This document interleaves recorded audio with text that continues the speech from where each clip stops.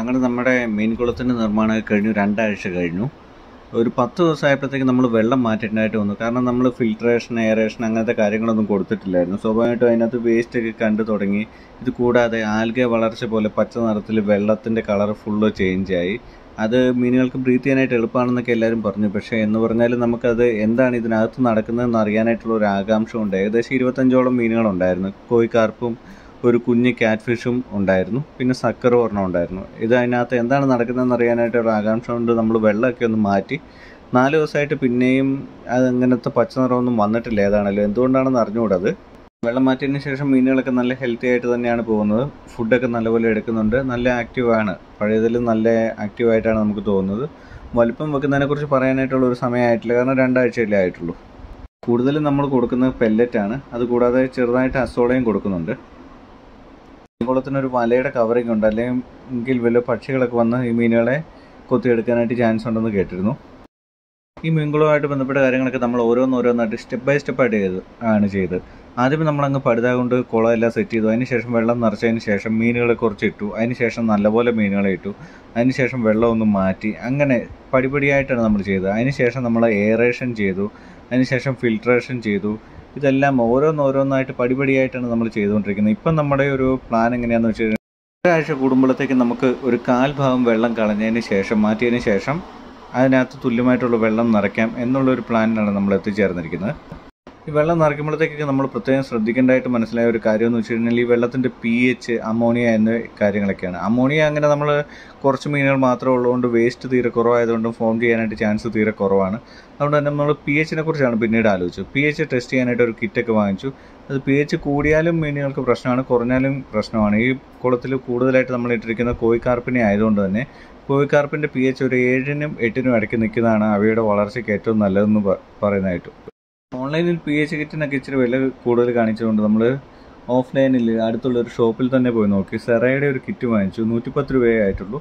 ഇരുന്നൂറ്റമ്പത് പ്രാവശ്യം അത് പി എച്ച് ചെക്ക് ചെയ്യാനായിട്ട് ആ കിറ്റ് കൊണ്ട് കഴിയും എന്നാണ് അതിനകത്ത് എഴുതിയിരിക്കുന്നത്. നാല് ടെസ്റ്റ് ട്യൂബ് അതിന്റെ കൂടെ കിട്ടിയിട്ടുണ്ട്. നമ്മൾ ഏതാണെങ്കിലും വാങ്ങിയ ഉടനെ തന്നെ കുറച്ച് കുളത്തിൽ വെള്ളം എടുത്ത് ഒരു രണ്ട് തുള്ളി ആണ് ഇത് ഒഴിക്കേണ്ടത്. അത് ഒഴിച്ചു നോക്കി. അതിന്റെ റിസൾട്ട് വരാനായിട്ട് ഏകദേശം ഒരു രണ്ട് മൂന്ന് മിനിറ്റോളം നമ്മൾ വെയിറ്റ് ചെയ്യണം എന്നാണ് അതിനകത്ത് പറയുന്നത്. പക്ഷെ നമ്മൾ ഒഴിക്കുമ്പോൾ തന്നെ അതിന്റെ ഏകദേശം അറിയാനായിട്ട് പറ്റും. നമ്മൾ അത് നല്ലപോലെ ഇളക്കി കഴിഞ്ഞപ്പോഴത്തേക്ക് പി എച്ച് അത്യാവശ്യം കുറവായിട്ട് തന്നെയാണ് ഇതിനകത്ത് കാണിക്കുന്നത്. അതിനകത്ത് അതിന്റെ കൂടെ തന്നെ ഒരു ഗ്രാഫിക്കലായിട്ടുള്ളൊരു പേപ്പറും കിട്ടുന്നുണ്ട്. ആ പേപ്പറിൽ നോക്കിയപ്പോഴത്തേക്ക് നമുക്ക് തോന്നിയത് ഒരു നാലിനും അഞ്ചിനും ഇടയ്ക്ക് അത്രയേ ഈ പി എച്ചിന്റെ വാല്യൂ ആയിട്ട് നമുക്ക് തോന്നിയിട്ടുള്ളൂ.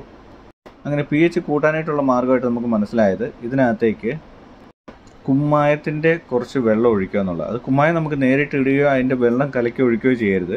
കുമ്മായം ബക്കറ്റിനകത്ത് ഒരു പിടി ഇട്ടതിന് ശേഷം ഒരു ഒന്നര ബക്കറ്റ് വെള്ളം എടുത്ത് ഞാൻ അതിന് ശേഷം അതൊരു അഞ്ച് മിനിറ്റ് തെളിയാനായിട്ട് വെയിറ്റ് ചെയ്തതിന് ശേഷം ആ വെള്ളമാണ് അഞ്ച് മിനിറ്റിന് ശേഷം കുമ്മായം ഒഴിവാക്കി അതിന്റെ മേളിൽ കിടന്ന വെള്ളമാണ് ഇതിനകത്തേക്ക് ഒഴിച്ചത്. ഒഴിക്കുമ്പോൾ നമ്മൾ പ്രത്യേക ഒരു കാര്യം ശ്രദ്ധിക്കണം. കുളത്തിന്റെ ഏതെങ്കിലും ഒരു സൈഡിൽ മാത്രമായിട്ട് ഒഴിക്കരുത്. കുളത്തിൽ നല്ല വിടർന്ന രീതിയിൽ തന്നെ അത് മൊത്തമായിട്ട് തന്നെ എത്തപ്പെടുന്ന രീതിയിൽ ആ വെള്ളം ഒഴിക്കണം. അതിന് ശേഷം പറ്റിയാൽ ഒരു കമ്പ് കൊണ്ടോ മറ്റോ ഒന്ന് ഇളക്കാൻ പറ്റിയാൽ അത്രയും നല്ലത്. ഇതൊരു രണ്ടായിരം ലിറ്ററിനടുത്തുള്ള വെള്ളം കൊള്ളുന്ന ഒരു ടാങ്ക് ആയതുകൊണ്ട് തന്നെ ഞാനൊരു രണ്ട് കപ്പ് ഇതാണ് ഒഴിച്ചിരുന്നത്. ഏതാണെങ്കിലും ഞാനത് ഉടനെ തന്നെ ടെസ്റ്റ് ചെയ്യുന്നുണ്ട്. ആദ്യമായിട്ട് ചെയ്യുന്നതുകൊണ്ട് തന്നെ. അതുകൊണ്ട് തന്നെ ഇച്ചിരി കൂടിപ്പോയാലും കുഴപ്പമില്ല എന്നുള്ളൊരു ഭാവമായിരുന്നു. ഏകദേശം ഒരു മണിക്കൂറിന് ശേഷം ടെസ്റ്റ് ചെയ്താലാണ് കൃത്യമായിട്ടുള്ള റിസൾട്ട് കിട്ടുമെന്ന് പറയുന്നു. ഞാൻ ഏതാണെങ്കിലും ഒരു മണിക്കൂറിന് ശേഷമാണ് ടെസ്റ്റ് ചെയ്തത്. അതിലൊരു ആ ഒരു ഗ്രാഫ് വെച്ച് നോക്കുമ്പോൾ ഒരു ആറിനും ഏഴിനും ഇടയ്ക്ക് അല്ലെങ്കിൽ ഒരു അഞ്ച് അഞ്ച് പോയിന്റ് അഞ്ചിനും ഒരു ആറ് പോയിന്റ് അഞ്ചിനും ഇടയ്ക്ക് അങ്ങനെയാണ് എനിക്കത് തോന്നുന്നത് അതിന്റെ ഗ്രാഫ് കണ്ടതിന് ശേഷം. ആദ്യമായിട്ട് ചെയ്തുകൊണ്ട് തന്നെ ഇത്രയും കൂടിയ പി എച്ച് വേരിയേഷൻ വന്നു കഴിഞ്ഞാൽ എന്തെങ്കിലും വ്യത്യാസം മീനുകൾക്ക് ഉണ്ടാവുമെന്നൊക്കെ ഞാൻ അന്നൊരു ഉച്ച തൊട്ട് വൈകുന്നേരം വരെ കുളത്തിനടുത്ത് തന്നെ ഉണ്ടായിരുന്നു. വൈകുന്നേരം ഒരു അഞ്ച് മണിക്ക് തീറ്റയെല്ലാം കൊടുത്തതിന് ശേഷം ഞാൻ നോക്കിയപ്പോഴത്തേക്ക് വളരെ ആക്റ്റീവായിട്ട് തന്നെയാണ് മീനുകളെ കണ്ടത്. തീറ്റ കൊടുത്ത് നോക്കിയപ്പോഴത്തേക്ക് അവ തീറ്റയെല്ലാം നല്ലപോലെ എടുക്കുന്നുണ്ട്. അതുകൊണ്ട് തന്നെ ആ പി എച്ച് വേരിയേഷൻ ഉണ്ടായിരുന്ന കുറവുണ്ടായിരുന്നത് കൂട്ടാനായിട്ട് നമ്മൾ ശ്രമിച്ചത് അത്ര പ്രശ്നമായിട്ടില്ല. അതൊരു സക്സസ് ആണെന്ന് തന്നെയാണ് ഇതുവരെയുള്ളൊരു വിശ്വാസം. ഇനി നാളെ രാവിലെ വന്ന് ബാക്കി നോക്കിയതിന് ശേഷം നമുക്കത് കൃത്യമായിട്ടൊന്നും അപ്ഡേറ്റ് ചെയ്യാനായിട്ട് പറ്റുകയുള്ളൂ പി എച്ച് കുറഞ്ഞതിന് കൂട്ടാനായിട്ടുള്ള ഒരു ഐഡിയ ആണിത്. ഇനി കൂടിയ പി എച്ചിനെ കുറയ്ക്കാനായിട്ട് സാധാരണഗതിയിൽ പി എച്ച് കൂടുതലായിട്ടും കുളങ്ങളിലൊക്കെ വരുന്നത് മീനുകളുടെ വേസ്റ്റ് ഒക്കെ കൂടുതൽ വരുമ്പോഴത്തേക്ക് ഒരു അമോണിയ ഫോം ചെയ്യുന്ന ഒരു ലെവലിലേക്ക് എത്തുമ്പോഴത്തേക്കാണ് പി എച്ച് പൊതുവെ കൂടാറുള്ളതെന്നാണ് കേട്ടത്. അതുകൊണ്ട് തന്നെ മീനുകളുടെ വേസ്റ്റും കാര്യങ്ങളും ബാക്കിയുള്ള വേസ്റ്റുകളും ഫുഡിന്റെ അവശേഷങ്ങളും എല്ലാം എടുത്ത് കളയുമ്പോൾ തന്നെ ഓൾമോസ്റ്റ് പി എച്ച് നോർമൽ ആകാനായിട്ടാണ് ചാൻസ് ഒരു ദിവസം കൊണ്ട് തന്നെ. അതുകൊണ്ട് തന്നെ വേസ്റ്റും കാര്യങ്ങളൊക്കെ മാറ്റിയതിന് ശേഷം അമോണിയ ഒന്നും ഫോം ചെയ്തിട്ടില്ല എന്നുണ്ടെങ്കിൽ അത് ഒരു ദിവസം കൊണ്ട് തന്നെ പി എച്ച് ഓക്കെ ആയതാണ്. റെഡ്യൂസ് ആകുന്നില്ല എന്നുണ്ടെങ്കിൽ മാത്രം പി എച്ച് റെഡ്യൂസിങ് ഏജൻസ് ചെറിയതായിട്ട് അതിന്റെ നമ്മുടെ കുളത്തിലെ വെള്ളത്തിന്റെ അളവിനനുസരിച്ച് ഉപയോഗിച്ചാൽ മതിയാവും. പിന്നെ ഓരോതരം മീനുകൾക്ക് ഓരോ പി എച്ച് ആണ് കൂടുതൽ അഡാപ്റ്റീവ് ആയിട്ടുള്ളത് തോന്നുന്നതെന്ന് പറഞ്ഞാലും ഏകദേശം എല്ലാ മീനുകൾക്കും തന്നെ ഒരു സിക്സ് പോയിന്റ് ഫൈവിനും സെവൻ പോയിന്റ് ഫൈവിനും ഇടയ്ക്കുള്ള പി എച്ച് ആണ് ഏറ്റവും നല്ലതായിട്ട് നമ്മൾ നെറ്റിലൊക്കെ നോക്കിയപ്പോഴത്തേക്ക് കാണിക്കുന്നത്.